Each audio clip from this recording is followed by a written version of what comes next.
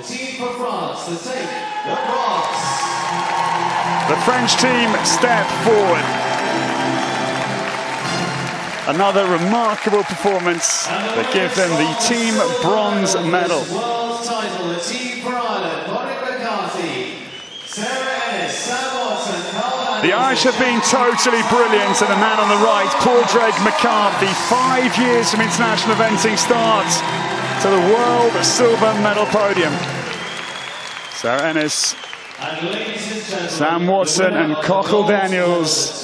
World Championship title.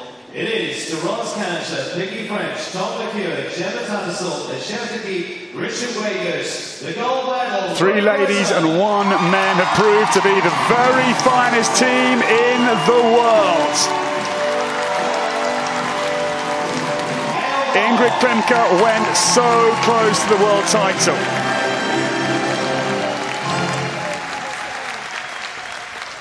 But she backs up her European Championship victory last year in Strzegom with the bronze medal. And Padraig McCarthy has been quite simply a revolution. He comes forward to win the silver medal with. Mr. Chunky. But the new world champion, the quite sensational 32-year-old from Hallington in Lincolnshire, Ros Canter, claims the world title at her first ever attempt take the bronze medal on this occasion after a big absence of 16 years from the podium for the French. And Ireland win the first ever team medal for their nation with that brilliant silver. Sarah Ennis, Padraig McCarthy, Sam Watson, and the young genius Cathal Daniels.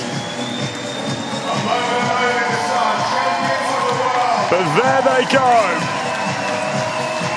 Great Britain have done it here in Tryon, a quite remarkable performance that sets them up for the Europeans in Luhmühlen next year.